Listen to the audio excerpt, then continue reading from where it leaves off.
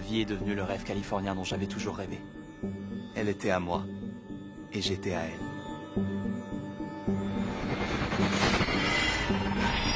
Il y a un truc que je trouve bizarre chez elle. Là, j'ai l'impression d'entendre ma mère. Je suis sérieuse, j'ai cherché sur le net. C'est un fantôme. Je crois qu'Oli essaie de s'en prendre à moi. C'est fou comme une personne peut changer votre vie.